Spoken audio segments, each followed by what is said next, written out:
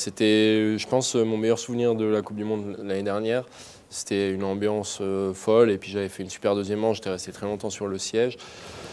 Donc euh, voilà, j'espère que ça va bien se passer. Après, euh, je vais arriver avec une autre, un tout autre statut que l'année dernière. Mais l'année dernière, j'étais aussi assez en confiance avec la course à Kitzbühel. Donc voilà, on va voir comment ça se passe. Je n'ai pas d'attente particulière, mais j'espère pouvoir encore jouer, jouer devant.